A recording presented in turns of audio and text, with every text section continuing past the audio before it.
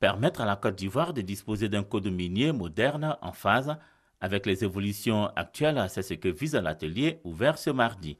Relatif à la relecture du code minier ivoirien, il réunit secteur privé, société civile, institutions de financement, partenaires au développement et ministères impliqués dans la politique minière.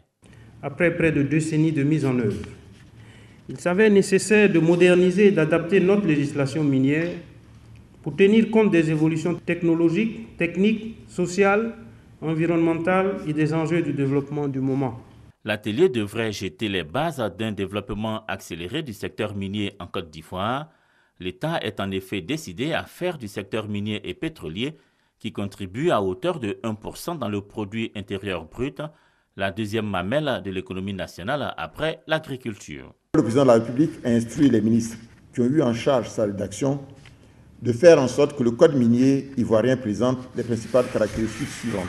Être compétitif par rapport aux meilleures pratiques. Contribuer à l'accroissement des investissements en permettant aux entreprises d'avoir une rentabilité adéquate de leur investissement. Permettre à l'État d'avoir des revenus adéquats en termes de contribution du secteur.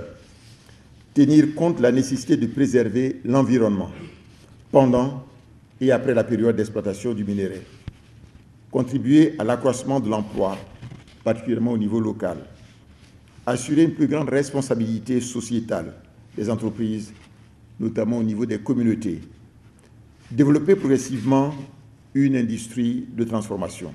Rédigé dans un cadre consensuel, le nouveau code minier devrait assurer à la Côte d'Ivoire des revenus substantiels tout en garantissant aux opérateurs privés une rentabilité de leur exploitation et aux populations riveraines des mines des retombées en termes de développement local.